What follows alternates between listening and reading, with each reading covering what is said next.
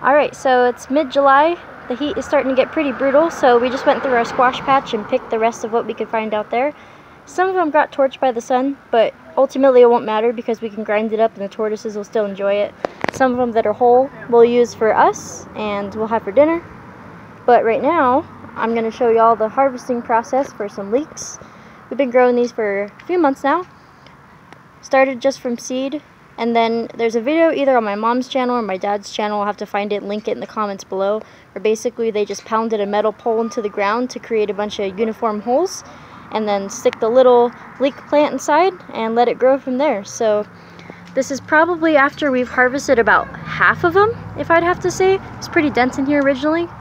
They're around two feet tall at the moment, but they're delicious. We've been using them to make dips and soups and all sorts of fun stuff. So I'm gonna harvest a few and show y'all how they look. Yeah. That pumpkin's beautiful. Yeah, arrange it, mommy, like you do. Alright, I'm gonna harvest this guy. Looks like a big one. Woo! And I love the tops because it almost looks like a cartoon character that's been like electrocuted or something.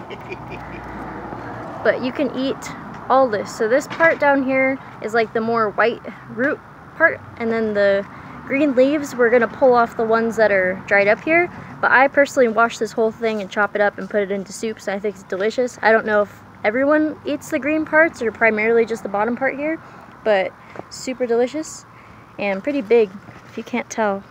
Longer than my arm, pretty much.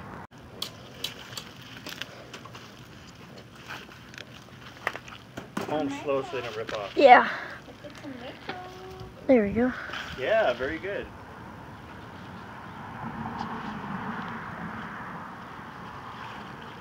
Farthest away one, yeah.